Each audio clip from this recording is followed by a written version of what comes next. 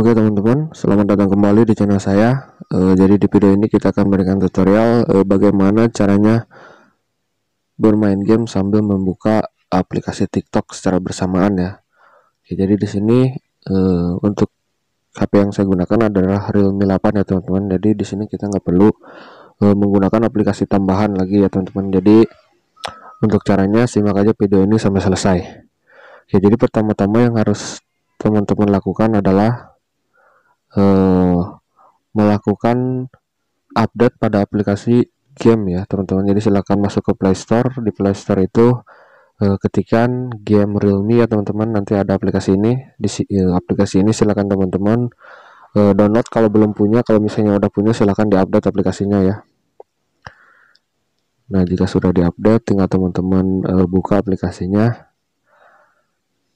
Bagi contoh di sini saya buka game Mobile Legend ya di sini e, nantinya itu akan ada bilah samping cerdas ya kalau tampilannya seperti ini. Kita klik edit. Nah di sini kita tunggu sebentar. Nah jika sudah tampil seperti ini di sini tinggal kita uh, gulir ke bawah ya teman-teman. Di sini kita gulir ke bawah. Masukkan aplikasi TikToknya ya teman-teman. Jadi di sini kita tambah. Ini ada TikTok ya. Kita klik tambah Nah, jika sudah ditambah, klik aja selesai.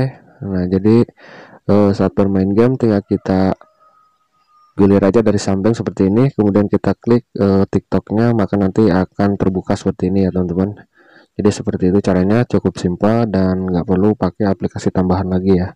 Terkecuali uh, di HP Realme teman-teman belum ada aplikasi gamenya ya. Jadi silakan teman-teman download aplikasi game tersebut di Play Store. Jadi untuk videonya cukup sekian, semoga bermanfaat. Sampai ketemu lagi di video selanjutnya.